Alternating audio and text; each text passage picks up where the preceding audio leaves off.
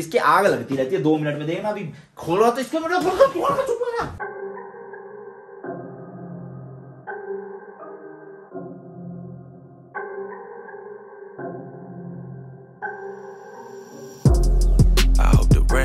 एक और नया दिन, एक और नई जर्नी। आज है एक फरवरी 2021 मैं हूँ अभी मयंक के साथ, भैया गुलमर्ग के अपने खलील पैलेस होटल में। सुबह के हो रहे हैं दस बज के चालीस मिनट और अभी एक घंटे में हमें चेकआउट करना है और फिर चेक इन करना है। दूसरे होटल में हमारे साथ पोपट हो गया है। हमारा गंडोला राइड दो दिन के लिए बंद है तो अब हम ऊपर नहीं जा सकते। मैं बताता हूँ सीन क्या है। हमारी दो नाइट का स्टे था गुलमर्ग में। हमने सोचा था एक रात मतलब जब हम कल यहाँ पर आए उस दिन आसपास का एक्सप्लोर कर लेंगे गुलमर्ग एटीवी राइड कर लेगी और जो हमने कर लिया था। और आज का प्लान था कि भैया गंडोला या फिर केबल कार में हम जाएँगे टॉप पॉइंट पे और वहाँ पे स्कीइंग वगैरह होता है नीचे आते हैं स्लैच करते हुए वो सब करेंगे बट यहाँ पे आगे न्यूज़ मिली कि दो दिन के लिए केबल कार बंद है मतलब आज के लिए और कल के लिए। तो हमने पहले सोचा था कि अगर आज के लिए भी बंद होती, तब भी हम एक दिन एक्सटेंड कर देते कल और फिर हम चले जाते ऊपर। बट कल भी बंद है तो फिर एक्सटेंड करके मतलब नहीं बनता, इसलिए हम कल वापस से श्रीनगर चले जाएँगे। फटाफट से रूम टूर देता हूँ क्योंकि चेकआउट करना है, ये एंट्री है, ये बेड लगा हुआ है इलेक्ट्रिक मैट्रेसेस है तो गर्म रहते हैं पूरे। सेंट्रलाइज हीटिंग है टीवी भी चल रहा है, ये हमारी विंडो है, जो खुलती भी है। यहाँ पर और कुछ नहीं है, और यहाँ पे छोटू सा हमारा बाथरूम है, इतना कुछ खास बाथरूम नहीं है बट गर्म पानी आता है 24 घंटे। इस टाइम पे गुलमर्ग में होटल्स के जो प्राइजेज है, वो भाई आसमान छू रहे हैं और कहीं कहीं जगह पे तो हाउसफुल चल रहा है। बिल्कुल भी होटल्स मिल नहीं रहे हैं। हाँ कहीं कहीं तो भाई पैंतालीस हज़ार पर नाइट है। बट जो हमने लिया इसका आपको छः से दस हज़ार के बीच में पड़ जाता है, जिसमें ब्रेकफास्ट और डिनर फ्री मिलता है। डिपेंड करता है कौन सी डेट को कर रहे हो। मिलते भी है नहीं मिलते हैं तो ऐसी सब कुछ सीन है। ठीक ठीक सा होटल है ज़्यादा ठंड नहीं लगती अंदर बस और कुछ नहीं चाहिए खाना बेकार था रात को डिनर बिल्कुल ही। ब्रेकफास्ट हमने किया नहीं क्योंकि रात को खाना बेकार था तो मूड खराब नहीं करना था बाहर जाके खाएँगे मस्त आराम से। चेकआउट कर लिया अपने इस होटल से और ये वाली गाड़ी में हम जाने वाले अपने दूसरे होटल जिसका नाम है रॉयल पार्क कितना दूर है भैया यहाँ से? डेढ़ किलोमीटर मतलब पास में ही है। असल में हमारे पास लगेज काफ़ी था तो इसलिए गाड़ी में जाना पड़ना वरना तो लगेज ना होता तो पैदल भी जा सकते थे ऐसी कोई दिक्कत नहीं थी। Said our love was worth dying for. That's why she keep on, keep on trying. But I'm really not moved by your tears no more.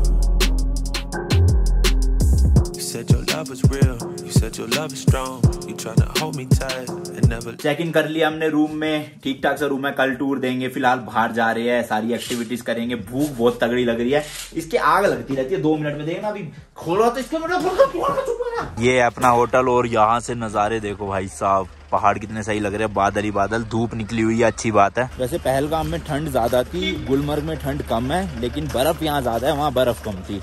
तो उल्टे सीन हो रहे हैं थोड़े से। ऐसा कुछ रास्ता है अपने होटल से नीचे जाने का पैदल पैदल। जिधर आपकी नज़र जाएगी भैया स्नो ही स्नो मिलेगी। ज़िंदगी के सपने पूरे हो गए बर्फ़ देखने के इसके बाद तो ना भी मिलेगा ही बर्फ़ कोई दिक्कत नहीं है। बस स्नोफॉल देखनी है कभी।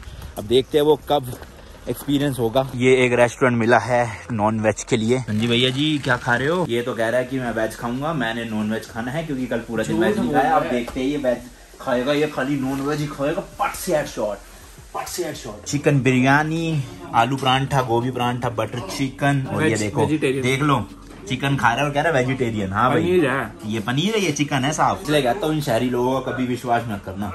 यहाँ से सबसे पहले हम स्लेज लेने वाले हैं जो हमें टेम्प, अ, टेंपल नहीं सॉरी चर्च ले जाएँगे और स्कीइंग पॉइंट ले जाएँगे। और इसकी इस हुई मुई की हालत खराब हो रही कह रहे मैं गिर गया तो क्या होगा ये होगा वो होगा। हज़ार रुपए पर पर्सन पड़ा है। मतलब दो स्लैच के दो हज़ार रूपए। यहाँ पे एक ये मंदिर भी है जहाँ पे गाना शूट हुआ था जय जय शिव शंकर और हम आए वो ऊपर से स्लैच करते हुए। तो अभी मेन राइड यहाँ से शुरू होगी थ्री सिक्सटी कैमराज निकाल लिए और इसकी हालत खराब होती हुई। और छुई मुई।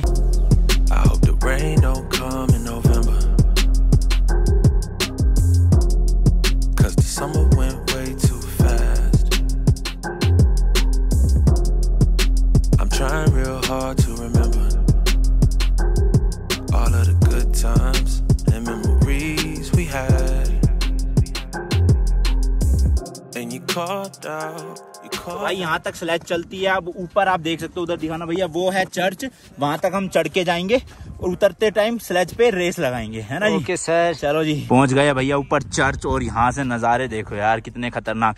वो जो आप बिल्डिंग देख रहे हो वो ना स्कीइंग का स्कूल है। तो जितने भी लोग वहाँ पे स्कीइंग कर रहे हैं ना वो सब पंद्रह दिन की कोचिंग ले रहे हैं आप कह सकते हो। और जो उधर की साइड भीड़ देख रहे हो कितनी सारी लग रही है वो देखो। वहाँ पर नॉर्मल टूरिस्ट स्कीइंग कर सकते हैं जो हम जाकर करेंगे। फ़िलहाल चर्च बंद है क्योंकि सिर्फ़ गर्मियों में खुलता है। और आज इसको मैं कूटूँगा बर्फ़ से इसको गिरा गिरा के इसका मुँह रगड़ूँगा ज़मीन पे देख। चल तू। यहाँ से देखो नीचे तक हमारी रेस होएगी इसमें मयंक बैठेगा उसमें मैं बैठूँगा। फुल स्पीड भैया फुल उड़ जाए हम उड़।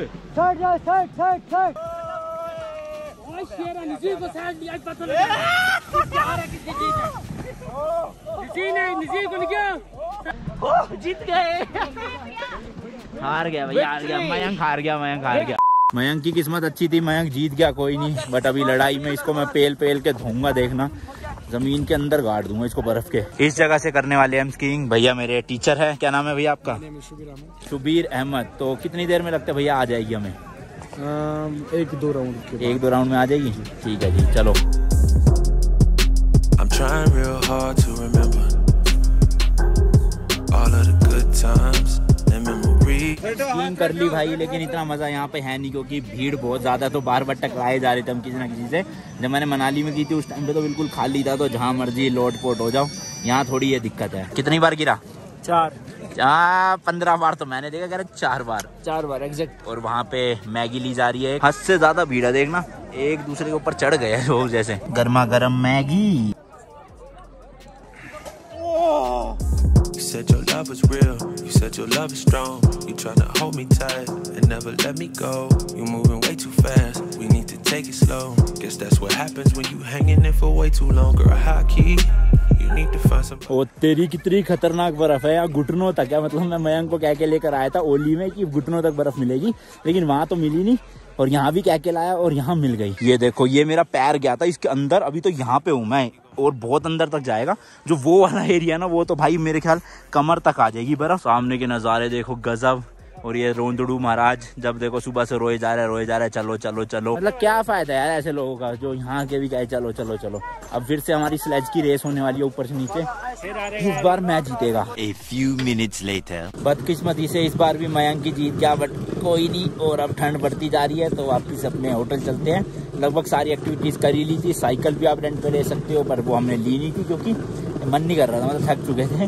तो इसलिए अब वापस जाने का टाइम आ गया। रात के साढ़े नौ हो रहे और आते ही भाई इतना ज़्यादा थक गए थे ना कि बस बेड पे ऐसा लेटे कि उठे ही नहीं और रात को डिनर भी नहीं किया, जबकि हमारे पैकेज में इंक्लूड था बट हमने सात, साढ़े सात बजे स्नैक्स मंगवा के पेट भर लिया था तो इसलिए ज़रूरत नहीं पड़ी और वो भाई साहब अभी टॉयलेट में है। बाकी चलो जी, ख़त्म करते इस व्लॉग को। इस होटल का जो रूम टूर है, वो कल वाले व्लॉग में देंगे, क्योंकि कल हम वापस से श्रीनगर जा रहे हैं और शायद से रास्ते में एक वाटरफॉल पड़ता है, जो सुना है हमने, काफ़ी खूबसूरत है।